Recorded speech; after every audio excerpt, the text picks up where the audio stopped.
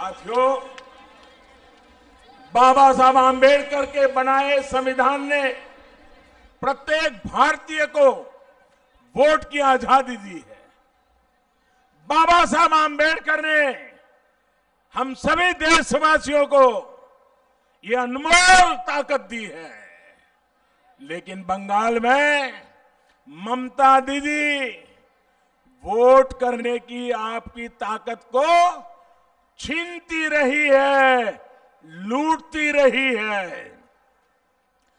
2018 में पंचायत चुनाव में जिस तरह दीदी ने आपके अधिकारों को कुचला, वो दुनिया ने देखा है।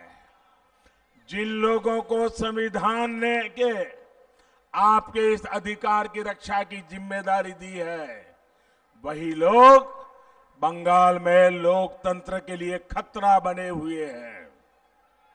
लेकिन मैं बंगाल के लोगों को आश्वस्त करता हूँ कि अब दीदी को लोकतंत्र को कुचलने नहीं दिया जाएगा।